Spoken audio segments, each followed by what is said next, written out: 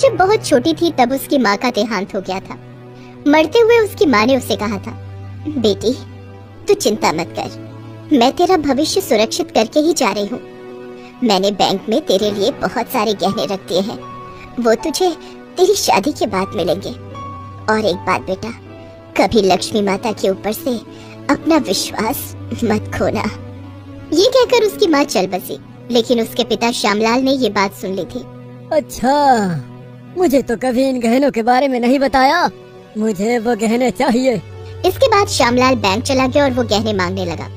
लेकिन बैंक वालों ने साफ़ साफ़ मना कर दिया। देखिए ये गहने केवल आपकी बेटी को ही मिलेंगे। वो भी उसकी शादी के बाद। श्यामलाल दुखी हो गया और उसने बिमला नाम की एक औरत से शादी कर ली।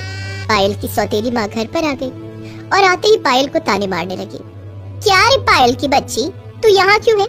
तेरी माँ तो तेरे लिए बहुत सारे गहने रख कर गई है ना? तो जा। इस गरीब खाने से निकल जा। ये सुनकर पायल रोते हुए कहती है, ये कैसी बात कर रही हो माँ? ये मेरा घर है। घर छोड़कर मैं कहाँ जाऊँगी? हे लक्ष्मी माँ, आप ही बताइए मैं कहाँ जाऊँगी? पायल लक्ष्मी माँ की मूर्ति के पास जाकर रोने लगी। श्यामलाल ने बिमला से कहा, अरे, इसे हम घर से नहीं निकाल सकते। नहीं तो हमें वो गहने नहीं मिलेंगे। मैंने पता किया है वो पूरे बीस लाख रुपए के गहने हैं। हाँ आप ठीक कह रहे हो। इसे दूसरे तरीके से ठीक करना पड़ेगा।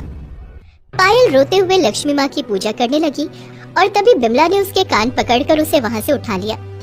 छोड़ दीजिए मुझे छोड़ दीजिए। मेरी पूजा अभी खत्म नहीं हुई। क्या होगा पूजा करके? जा पैसे कमा कर ला। नहीं तो घर में खाना कैसे बनेगा हम्म? हाँ चल जा। मेरा रिक्शा लेकर निकल जा। मैं आराम करता हूँ। पायल के पास और कोई चारा नहीं रहा। वो रिक्शा लेकर रास्ते में चली गई। लेकिन उसके पैर रिक्शे के पैदान तक नहीं पहुँचे। इसीलिए उसने एक डंडा लिया और उसे एक हाथ में पकड़कर उससे रिक्शा चलाने लगी। आइए आइए मेरे रिक्शे में बैठ जाइए। आइए साहब। लेकिन लोगों ने उसके रिक्शे में बैठने से इनकार कर दिया।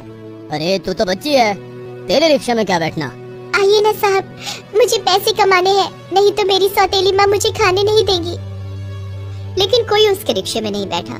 खाली हाथ घर लौटने पर बिमला ने पायल को मारना शुरू किया। एक छोटा सा काम भी तुझसे नहीं होता, काम चोट कहीं की। ये ले, अब मार खा। बिमला रसोई में चूल्हे में चावल उबाल रही थी। उसने उसी चूल्हे से जलता हुआ लकड़ी का टुकड़ा निकाला और उसी से पायल के हाथ में मारने लगी। पायल दर्द से तड़पने लगी। आह, दर्द हो रहा है। उसके हाथ जल गए। वो अपने कमरे में जाकर अपनी माँ को याद करने लगी। माँ इस दुनिया में एक माँ के अलावा एक बच्चे का और कोई नहीं है। आज मुझे समझ में आ गया है, माँ। तभी चारों तरफ़ से उसकी माँ की आवाज़ गूंजने लगी। है ना बेटा? माता लक्ष्मी है। उनकी पूजा कर, वो सब कुछ ठीक कर देंगी। अपनी माँ की आवाज़ सुनकर पायल भावुक हो गई और लक्ष्मी माता की पूजा करने बैठ गई। उसने अपने जले हुए हाथों से माता के लिए लड्डू बनाए और पूजा संपन्न की। उसके मन को शांति मिली। उधर स्वर्ग में बैठी हुई माता लक्ष्मी ये सब देखने लगी। तभी वहाँ पर नारद का आगमन हुआ। नारायण नारायण। प्रणाम माते लक्ष्मी। बोलो नारद क्या बताने आए हो? मैं तो बस ये कहने आया था माते कि धरती पर आपकी भक्त आँसू बहाए जा रही है। उसका दुख खत्म ही नहीं हो रहा है।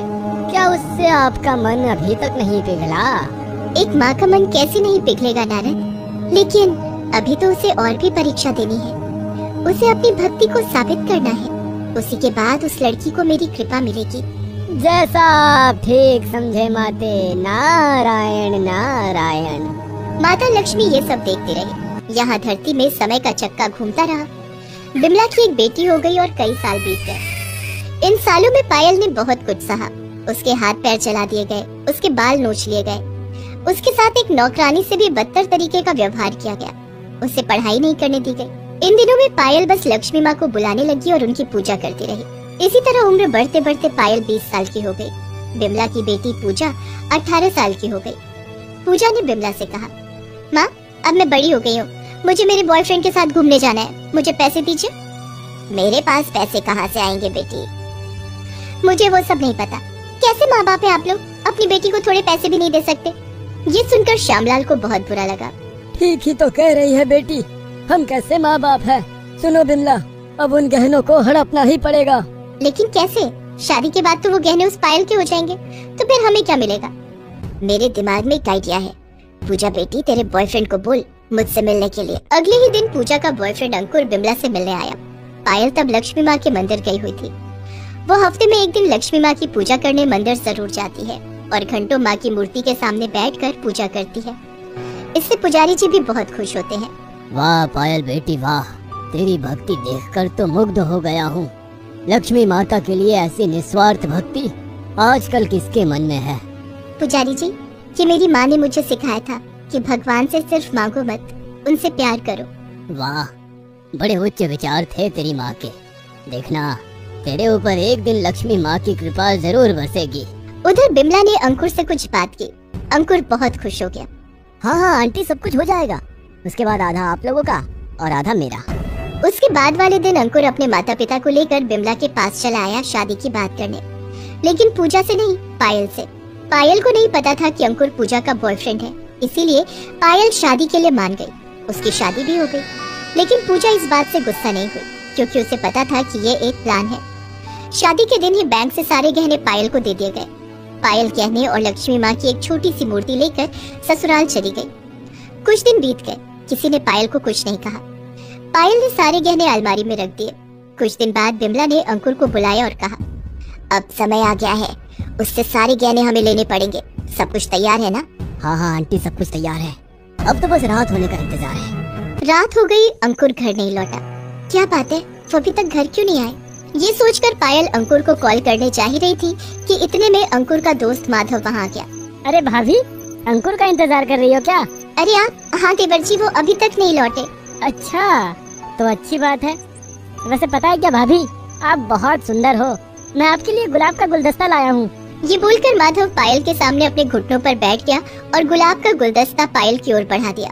पायल घबरा गई। ये सब क्या कह रहे हैं आप? मैं आपकी भाभी हूँ।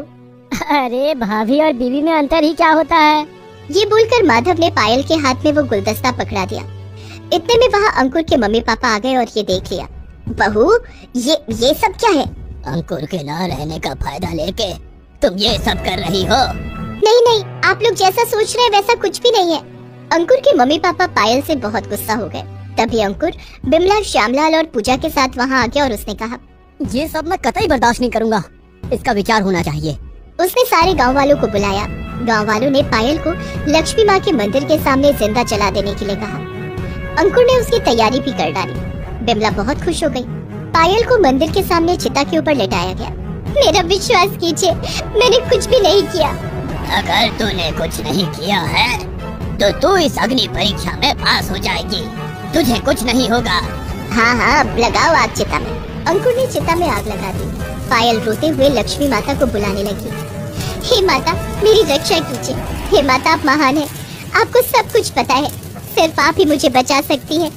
आज मेरी नहीं, आपकी अग्नि परीक्षा है, माँ। और तभी लक्ष्मी माता की मूर्ति से आँसू टपकने लगे और तुरंत उन आंसुओं ने एक विशाल बाढ़ का रूप ले लिया। उस बाढ़ से चिता की आग बुझ गई और आसपास के सभी लोग डूबने लगे। बचाओ बचाओ बचाओ। ये क्या हो रहा है? बचाओ। तभी मूर्ति से लक्ष्मी माँ स्वयं बाहर आई।